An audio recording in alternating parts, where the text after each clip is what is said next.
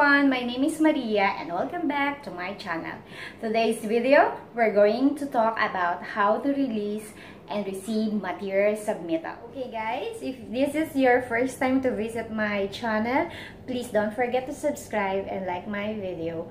And click the notification button so you'll be updated on my upcoming videos.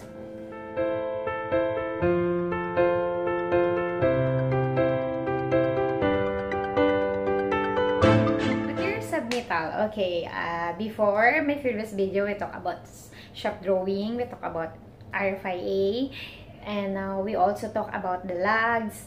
And now let's talk about material submittal. So material submittal is very important guys. Really uh, this is one of the um, very important um, submittals in the project because whatever um, items or material used in the site it should be approved by the engineers.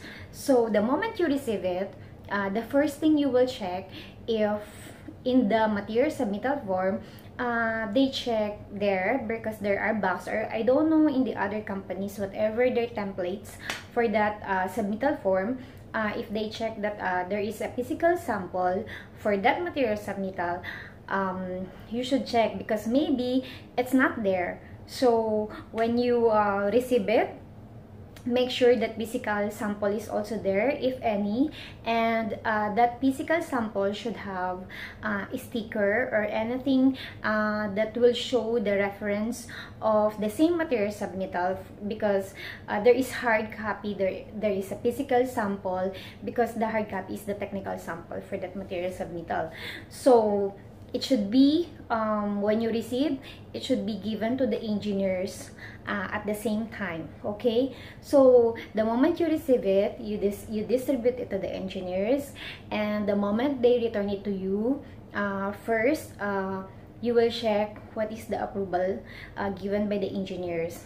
If they approve the material submittal you should also check the physical sample itself because um, the sticker should also be tick marked if this is approved or no. So if it is approved uh, we have like a um, sample room. So inside the sample room uh, we only put uh, inside in the sample room are all the approved uh, material submittals so because later on as the project goes on uh, sometimes we need to check that one physical sample itself so uh, the hard copy, uh, we should check the approval status if it's signed by the engineers and then you will release it to contractor.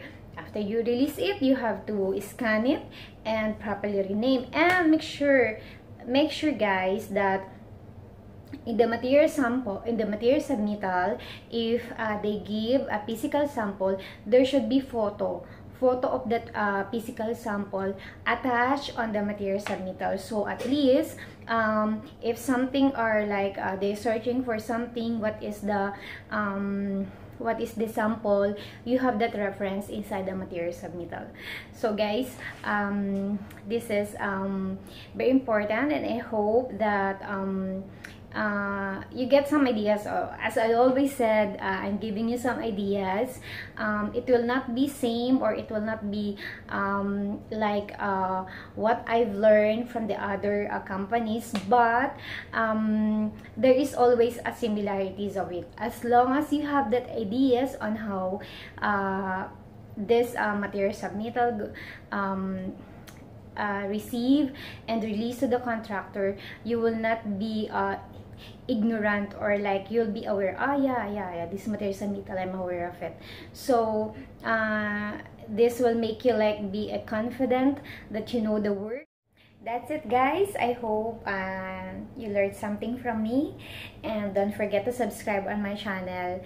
And um, as usual, don't forget to uh, uh, be positive, focus in work, and be a good team player as always because um, as long as we enjoy the work we, we will not think about how much bunches of work that we receive every day. Okay guys?